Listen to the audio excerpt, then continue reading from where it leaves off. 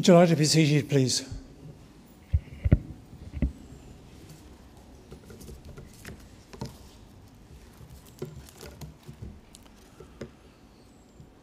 On behalf of the family, I know they want me to welcome each and everyone here. And my name is Gilbert Gilbert Page, and it'll be my privilege, not a not a pleasure, obviously, but a privilege to lead this service.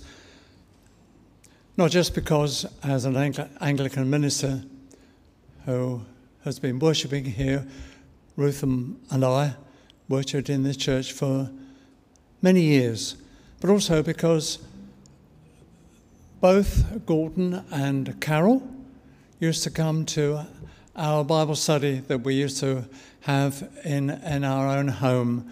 So we got to know. And then, sadly, of course, when Carol died so many years ago 15 years, a long time, Gordon and family were on their own, left without Carol but we continued in that fellowship and knowing Gordon, of course, getting to know him well. Just a, a few practical comments, if I may, at beginning, please. If you do have a mobile phone, could I ask you if you could just turn it off for the duration of the service so that it's not, and nothing um, more know, disturbing for family if bells start ringing all over. If you could put it on silent or whatever, just for the duration of this service, please. And again, for pra- practical reasons, there is a, if you like to go out that way through the door, there is a, a toilet um, in the church hall there if, if that's needed. Uh, I hope that uh, if you would, if you haven't already signed as you came in, Please, would you like to do that before you leave? Because that'll be important for the family as they look back to see who was able to share with them at this important time. And you will uh, have noticed, perhaps, and uh, could I remind those that there is an opportunity for those who would like to donate toward uh, the work amongst uh, um, the research and people with Parkinson's. This was Gordon's wish for anybody who would like to contribute.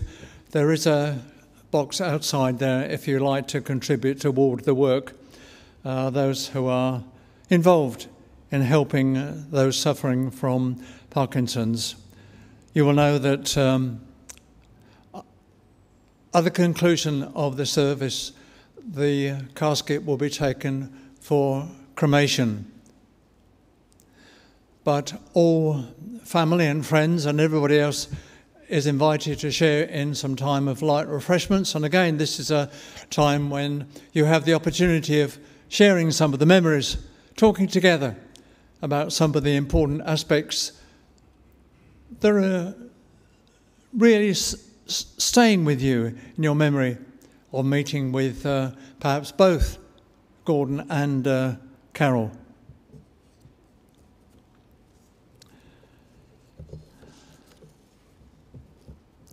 It is my hope and my prayer that this service will be a special, an important, and a helpful time, a blessing to each and every one.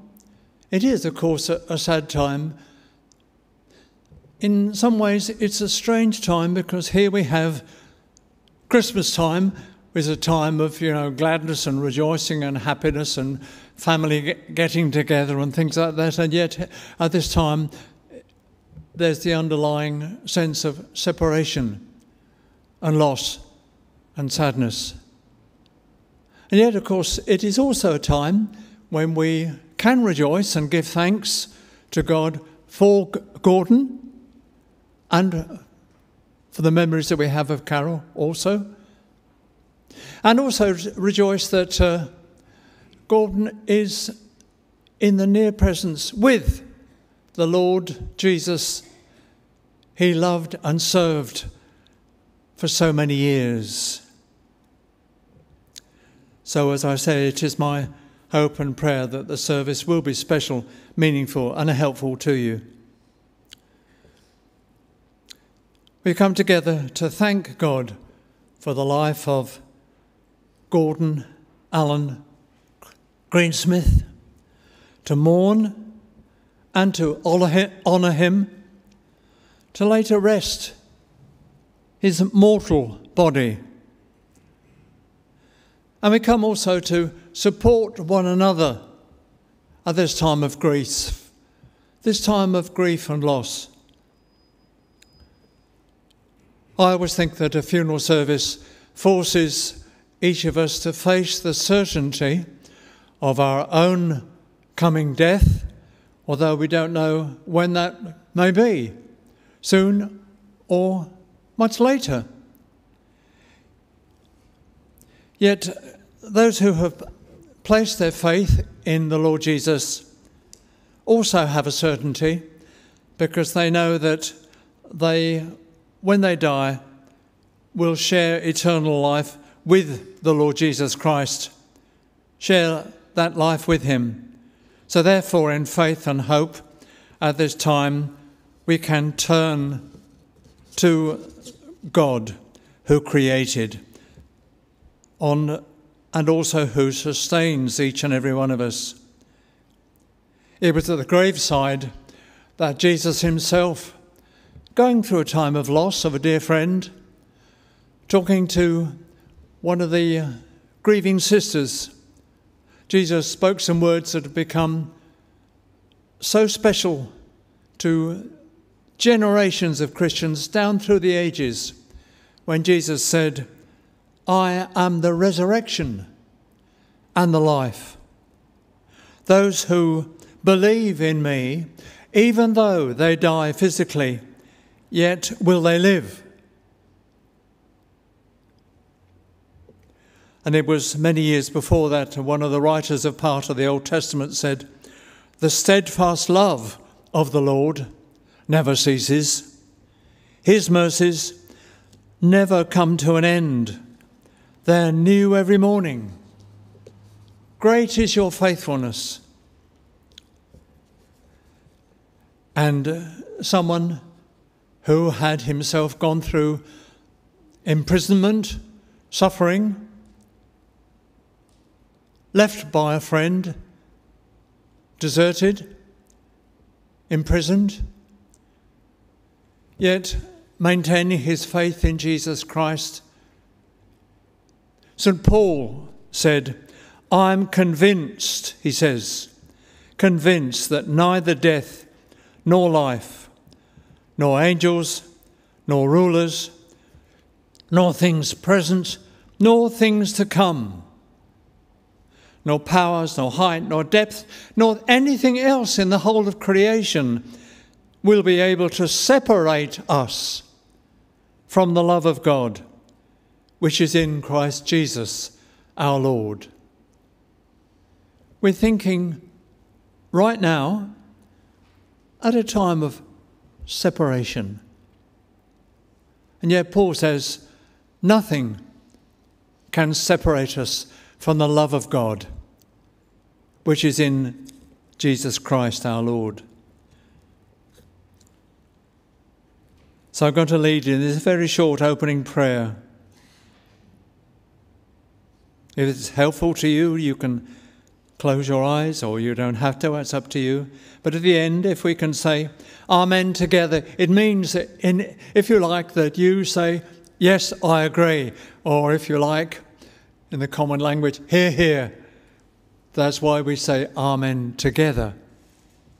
Let's pray. Loving God, you alone are the source of life. At this time, may your life giving spirit flow through us and fill us with compassion one for another. In our sorrow, please give us the calm of your peace. Kindle our hope and let our grief give way to joy through Jesus Christ our Lord. And we say together, Amen. We're going to have a, a time now, um, if you like, uh, the eulogies, the when uh, people share together some of their memories as they think of some of these special events, some of the significant occasions that are very important to them as they remember a friend, a loved one, a family member. First of all, we're going to have Andrew and Scott who are going to speak to us. If you'd like to come forward now, thank you.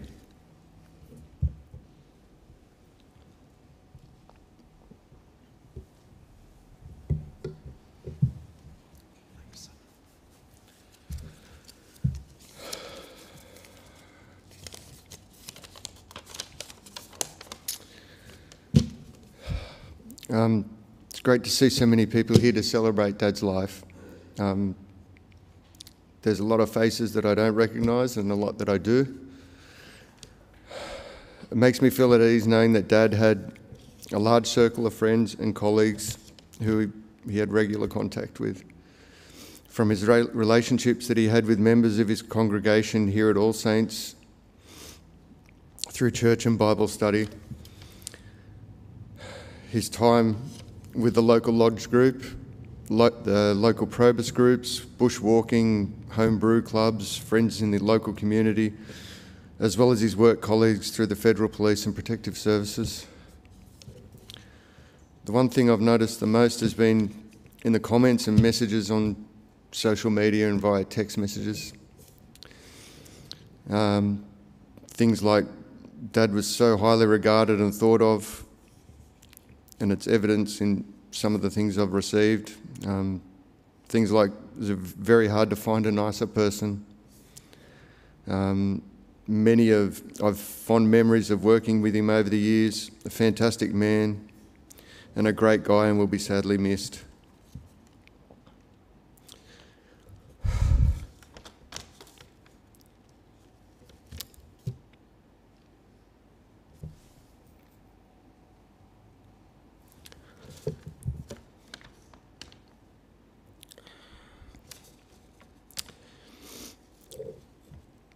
I always knew that he was a great guy.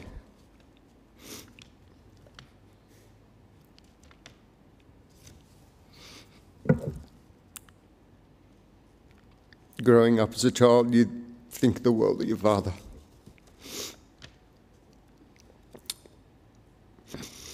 You reach the middle of your teenage years and you rebel as I did, and you lose sight of it a little bit. But I think for me, it's taken growing up and having a family of my own and responsibilities to see what a great man he was. That all he did was for the ultimate benefit of his family. A man that at any one time, you know, he'd be working three simultaneous jobs to make sure that he could provide for my brother and I. And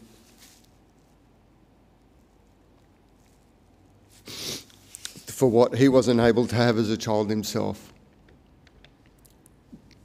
I see now that as an adult, all he did, he did for us. I don't remember my father having a bad word to say about anyone. He would always be a shoulder to lean on and be there to listen. And if you asked for his advice, it'd be given but not forced upon you. He'd have to be the most selfless person that I ever knew. Even after Mum's passing, as much as losing her shattered his very existence.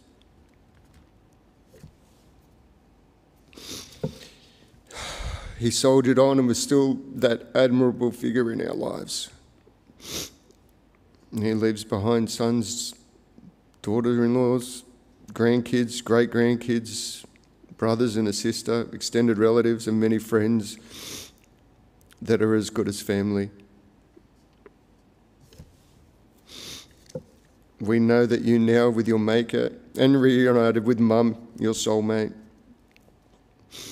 And I can say that we will cherish the memories we have of you in our lives forever. Well,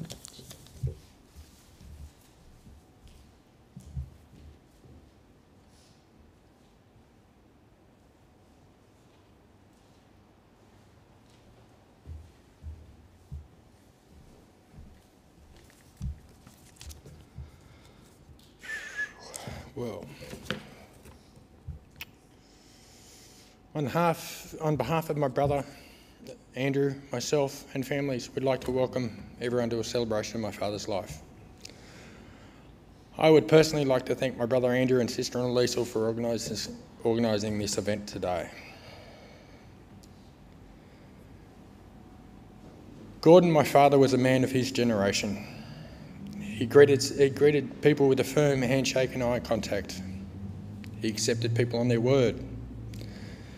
He was a thoughtful and quiet man who thought about, he was about, uh, thought about what he was going to say before he said it and only said what was needed. Sure, Dad had his opinions on things, but accepted and respected others that may have had differing opinions.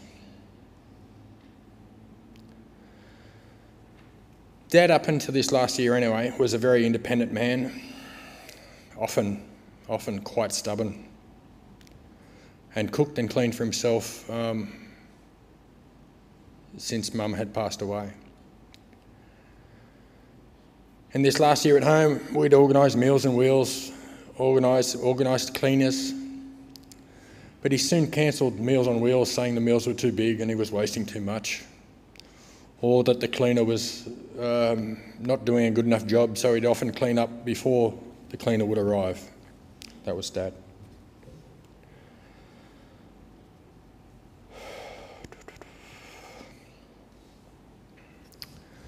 Dad loved his grandkids Daniel, Lucy, Hugh, Jason, and Josh. I know when Hugh was born, and he was, he was down with us a few days after uh, a few days after he was born.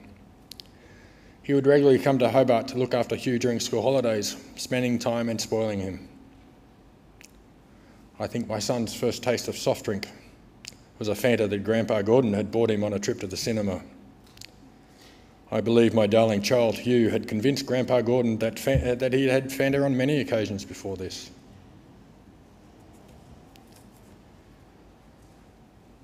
Dad loved animals, in particular dogs. In our house, he was nicknamed the Puppy Whisperer, or Tessa's boyfriend. Tess is our 45 kilo German Shepherd. When he came down, our pup would basically ignore us, or the, the family, and we think Tess knew that the true alpha male was in the house, and we, Georgie and Hugh, ceased to exist. On one occasion, my father had gone to bed and, and forgotten to close his door properly. He woke in the middle of the night to use the loo turned on the bedside light only to see two big black German Shepherd ears appear at the end of the bed. He said the next morning he nearly weed himself in fright. He, sure, he made sure the door was, was shut for the rest of the time he was down. Dad, once retired, travelled extensively through Europe, the U, uh, UK and Europe, the Americas, Asia, and the Pacific. He, liked, he experienced other cultures and beliefs, and of course the different foods. He loved the different food. The more exotic, the dodgy the, the laneway off the tourist's path, better. I was always getting phone calls from him saying, I've booked a trip here or I've booked a trip there. Anyway, on one particular morning I was at work, the phone rang. It was Dad. I struggled out of my gear, my gloves, my apron, my butcher's coat, etc., only to answer the phone fearing the worst. I asked if he was okay. He said, Yes, I've just booked a trip to the Arctic Circle. I thought, nine o'clock on a Monday morning? I was stunned. All I could say to my dad, But you think Hobart is cold?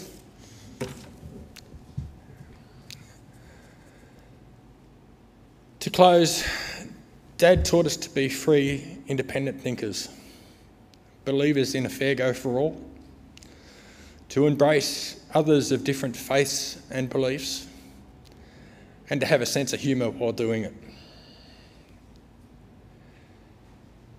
If I may, to finish, I'll borrow words from a poet, Thomas Carroll, who said, To live in hearts of those left behind is not to die. Thank you.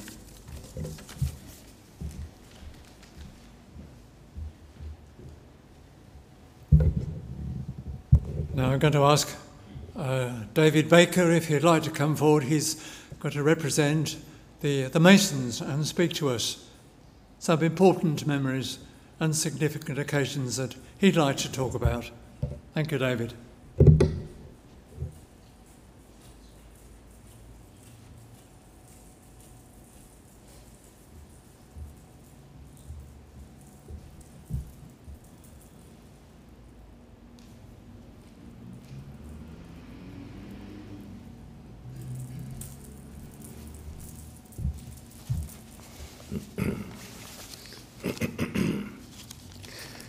Thank you, Minister, for that introduction this morning. Good morning, everybody. My name is David Baker, and I'm the Worshipful Master at Lodge Nowra Unity. I'd like to take this opportunity to thank the family and uh, uh, for letting us be here this morning and conducting what we know as a Masonic tribute. For those of you who don't realise, Gordon was actually initiated into Freemasonry in 1969, some 54 years ago, two years before I was born. And to the best of my knowledge, he's been an active member of the Freemasons since that time.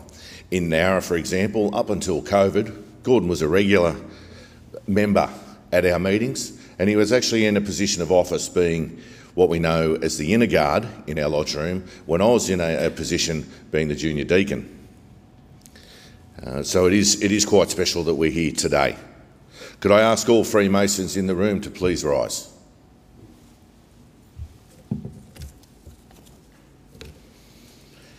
We, assemb- we are assembled for the purpose of honouring the memory of Brother Gordon Greensmith, whom the great architect of the universe has been pleased in his infinite mercy to take unto himself of an ex- and of extending our deepest sympathy to all who mourn his passing. From t- time immemorial, it has been the custom among the fraternity of free and accepted Masons at the place of where closing tributes and respect uh, and honour are actually paid. This demonstrates our sincerity of our esteem and enables us to receive inspiration as well as instruction for his life. Hear those words from the volume of the Sacred, taken from Ecclesiastes chapter 12, verse 1. Remember your Creator in the days of your youth, before the days of trouble come and the years approach, when you will say, I have no pleasure in them. In the volume of the Sacred Law, Freemasons discover the great light which leads us to all truth, directs our steps in the paths of happiness, and teaches us the whole duty of man. We endeavour to regulate our lives and actions by the principles of morality and truth, and learn to limit our desires so that we may live respected and die regretted. Let us, by the grace of the great architect of the universe, strive to prepare ourselves by removing our faults and developing our faculties so that, under the fatherhood of God, we shall be able to bring about the brotherhood of man. The lambskin is an emblem of purity and innocence, and the badge of a mason. It is more ancient than the golden fleece or Roman eagle, more honourable than the garter when worthily worn. This emblem will now be deposited and has been on the casket. This casket, this circle of mourning friends, reminds us that we too are mortal. This evergreen is an emblem of our faith. It reminds us that we have an immortal part within us which will never die and through, like our brother, whose body now lies before us, we shall all one day face death. Yet, we may confidently pray that our souls will bloom in eternal spring. On behalf of the brethren present, the evergreen will now be placed on the casket. Let us pray. May the great architect of the universe having summoned our brother to a state of eternal life, enable us, whom survive him, to be more strongly cemented in the ties of union and friendship, May we wisely and usefully employ our time in the giving and receiving of kind and friendly acts and promoting the welfare of happiness to each other. Almighty and eternal God, architect and supreme ruler of the universe, at whose creative fiat all things first were made, we, the frail creatures of thy providence, humbly implore thee to pour down upon the, upon the congregation assembled in thy holy name the continuing dew of thy blessing. More especially, we thank thee for the life and memory of thy servant, brother Gordon Greensmith, and pray the perpetual light may shine upon him. So mote it be.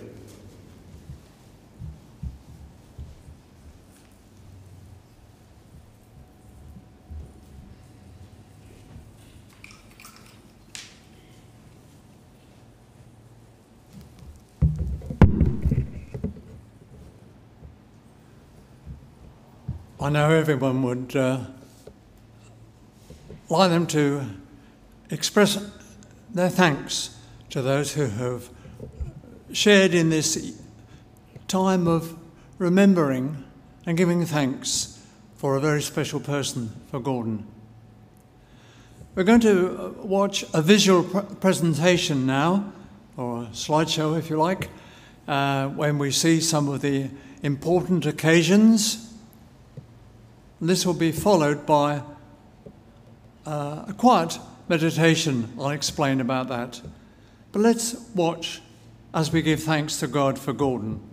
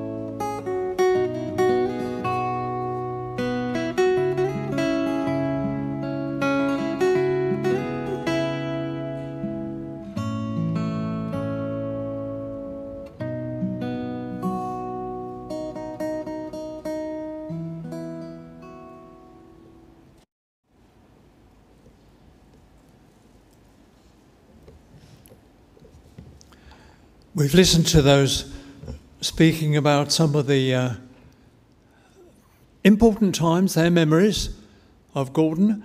I'm going to suggest that we have just a, a short time of quiet meditation. You may like to either close your eyes or leave them open and look at that lo- lovely photograph of Gordon. When you have the opportunity of, in the silence, giving thanks to God for some of the important occasions, the significant memories that you have, special times that perhaps you shared with Gordon. Give thanks to God for his life and for the opportunities or opportunities you had of sharing part of life with Gordon. Let's have a just in the silence a time of quiet meditation, giving thanks to God.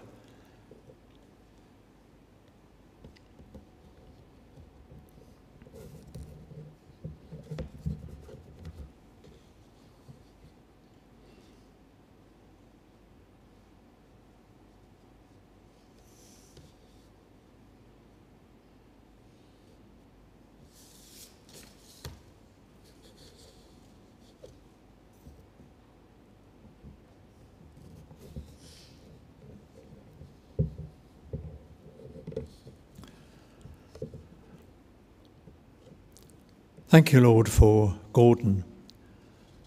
And now uh, uh, Georgina is coming, uh, going to come and read to us part, uh, a section of the Bible. Jesus talking to his friends, his followers, from John's Gospel. And it's printed, in fact, on the inside of the leaflet if you'd like to follow that or just to listen to Georgina. Thank you.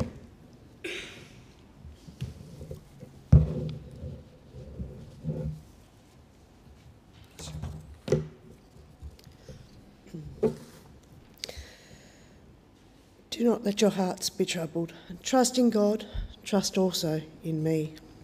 My Father's house has plenty of room. If that were not so, would I have told you that I am going there to prepare a place for you? And if I go and prepare a place for you, I will come back and take you to be with me, that you may also be where I am. You know the way to the place where I am going. Thomas said to him, Lord, we don't know where you are going, so how can we know the way? Jesus answered, I am the way and the truth and the life. No one comes to the Father except through me.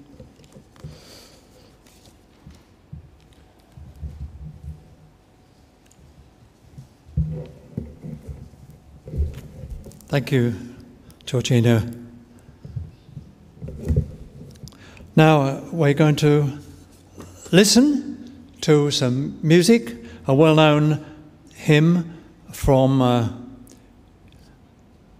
years ago, and yet very special and meaningful and important to Christians, not only today or to Gordon, but to so many others. It's Amazing Grace. Amazing Grace. Now, I suggest you remain seated, but if you want to join in the singing, please feel free to do so as you listen, and uh, the words, I believe, appear on the screen if you want to join, but don't have to, up to you. Let's listen to Amazing Grace.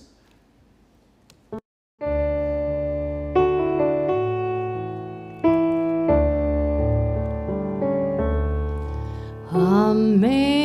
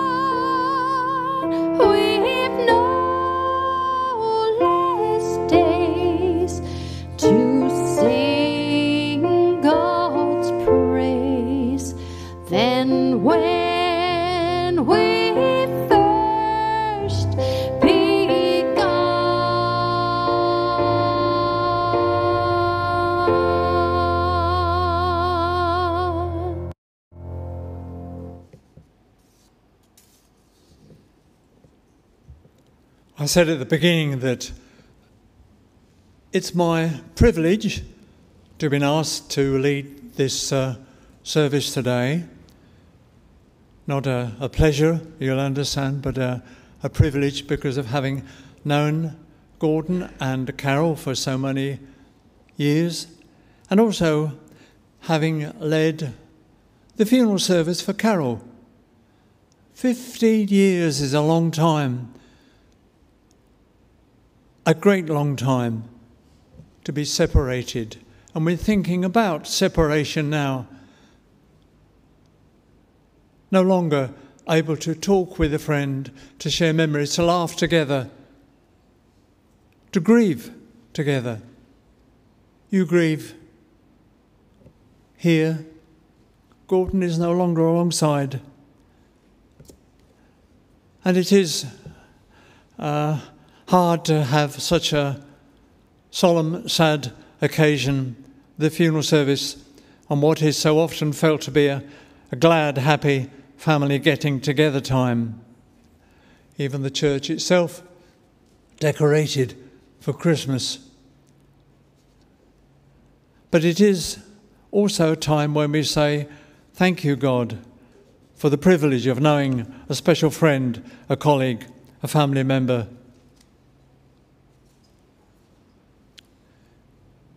It's a time when we are reminded of separation.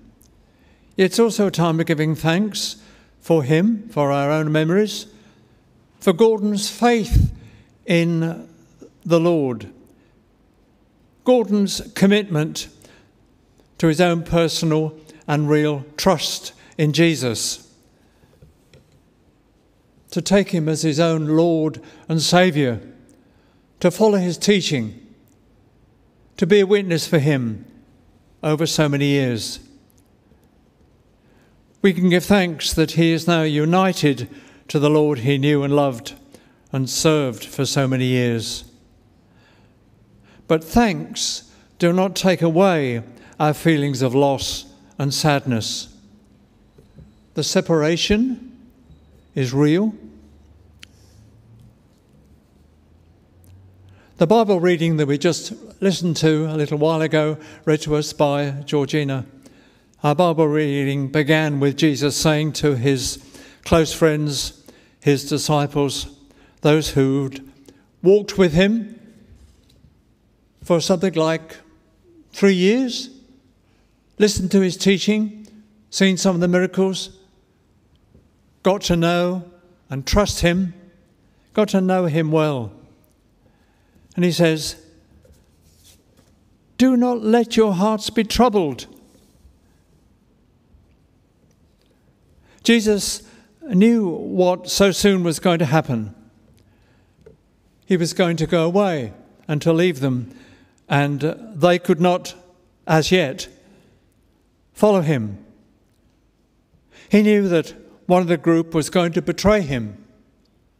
He knew that his desert, all his friends would desert him leave him alone, facing those who had come to arrest him. He knew that Peter was going to deny him publicly three times, even though Peter said he never would do anything like that. Yet Jesus says, Do not let your hearts be troubled. Is that rather like me now saying to you, Oh, uh, uh, Gordon has died, of course, but I mean, don't, don't worry about that. It, it doesn't matter. It's, it's okay. Well, it isn't. It's hard. And the future is going to be difficult.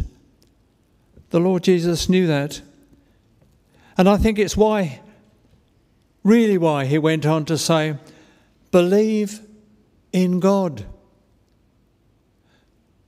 Do not let your hearts be troubled. Believe in God. Believe also in me. Put your trust in me. You see, that's going to make everything different because the, the future is in God's hands. He is in control. Yes, there is separation and loss. And we think about, about so many difficult, tragic, and disturbing world events, whether they're in Gaza or the Red Sea or Ukraine or Afghanistan, or whether we're thinking about the, the fires or the floods in uh, northern, New, uh, northern Australia. The Lord is in charge, He is in control. And all those who put their trust in Him have committed their lives to Him as, as Lord of their lives, believed in Him as their Saviour, know He is there alongside, closer than any friend, a parent, a loved one can be. The Lord Jesus is there alongside each and every one of you today. You see, Gordon served the Lord for so many years, and now he's not floating around on a, a white cloud in some heavenly state playing on a harp. All sorts of silly ideas about what heaven is like. No, but Gordon is in the presence of, alongside, close by, the Saviour he loved and served, in a totally different state, no longer constrained by the physical things that control our body. No longer faced with the things that cause our human bodies to suffer and go through difficult times. Gordon is with the Lord he loves for eternity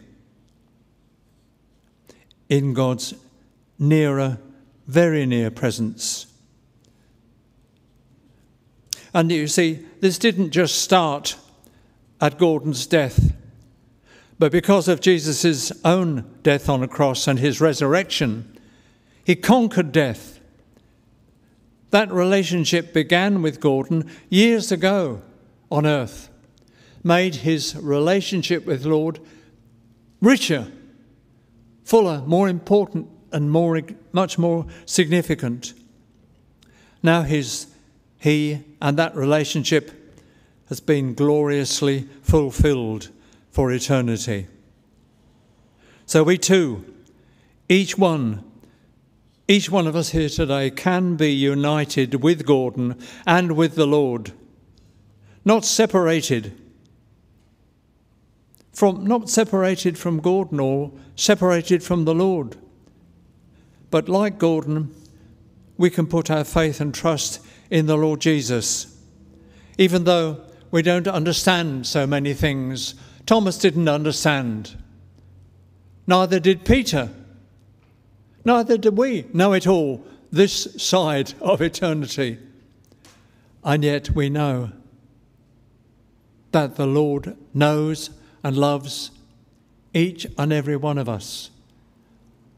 That He sent His Son to die upon a cross to take away our sins, to deal with all that's wrong and evil and destroying others in the world.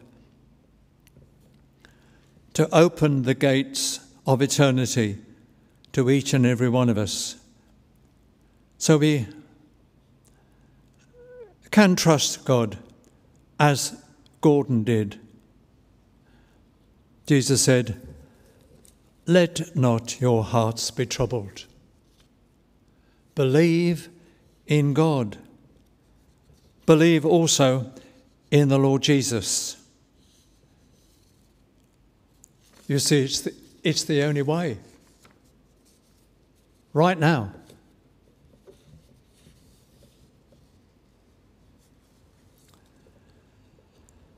We're going to have a time of uh, when I lead in a few short prayers. If again it's helpful for you, you may close your eyes, but you don't have to. But at the end of each prayer, if you want to join me in saying Amen, it is yes, I agree. Or if you like, hear, hear, yes, that's right. I believe that too. So let's pray. First of all, let's pray with confidence to God our Father, who raised Jesus Christ from the dead for the salvation for each and every one of us. Let's give thanks to God for the gift of life.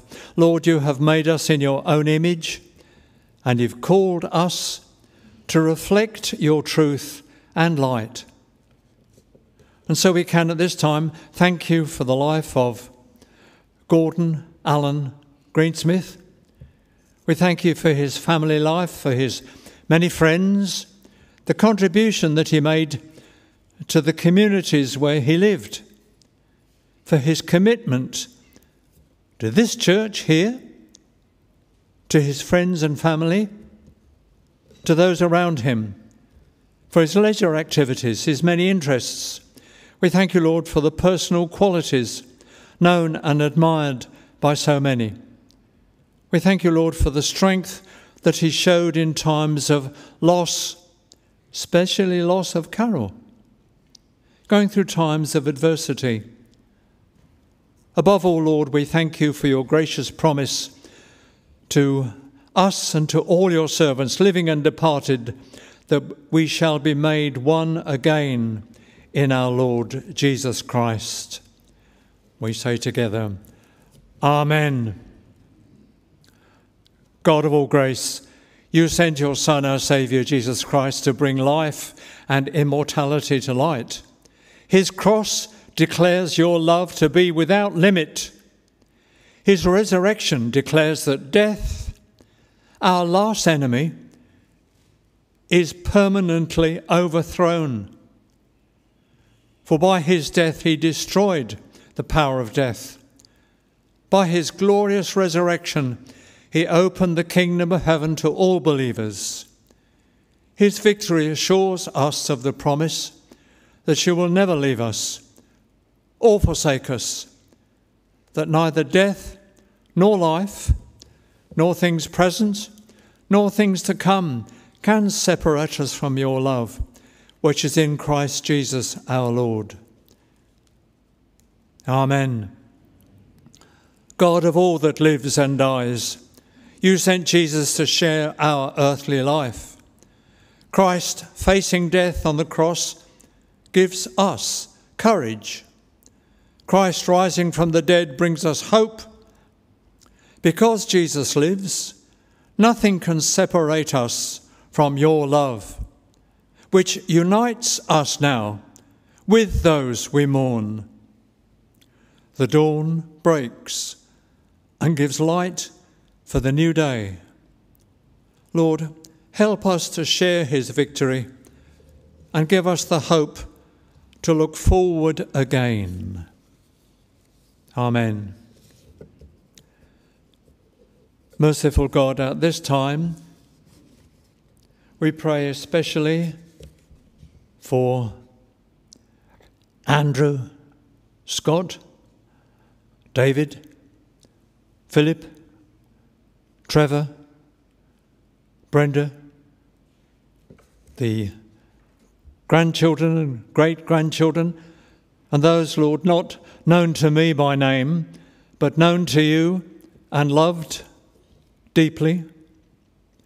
Their sense of loss is so keen when we cannot understand the things that happen, when we're weighed down by grief and loneliness, please uphold us in your love. Give us the assurance of your constant care that we may have courage for the days ahead through Jesus Christ our Lord. Amen.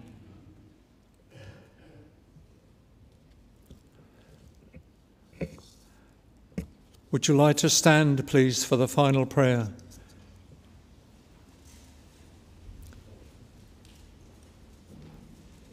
The commitment. Holy and loving Father, by your mighty power you gave us life, and in your love you have given us new life in Christ Jesus. So we can now entrust Gordon, Allen, Greensmith, to your merciful keeping. We make that commitment in the faith of Jesus Christ, who died and who rose again to save us, and who now lives and reigns with you and the Holy Spirit in glory forever. Amen.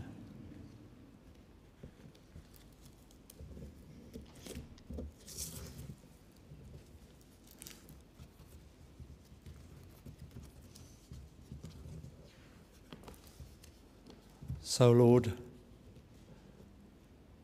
now unto gracious mercy and protection I commit each and every one of you. May the Lord surround you with his love and peace, uphold you with his love, and bring you the assurance of his presence. And the blessing of God Almighty, the Father, the Son, and the Holy Spirit be with each and every one of you, not only today, but forever. Amen. God, I ask if the bearers would like to come forward at this stage, please. Well, you remain standing.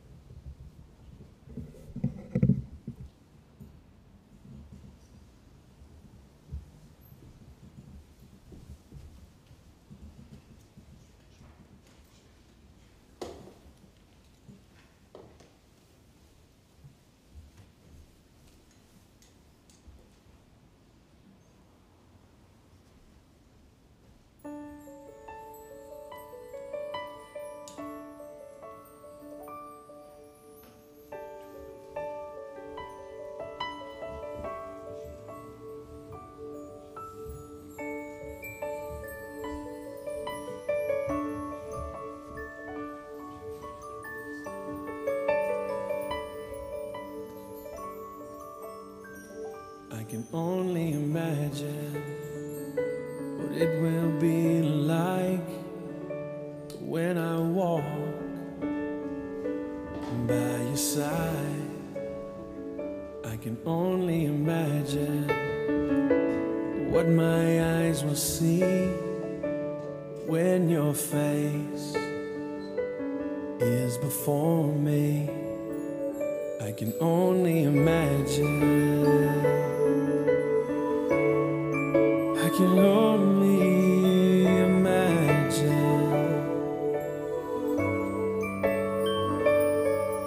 Surrounded by your glory, what will my heart feel? Will I dance for you, Jesus? Or in all of you be still? Will I stand in your presence? Or to my knees will I fall? Will I sing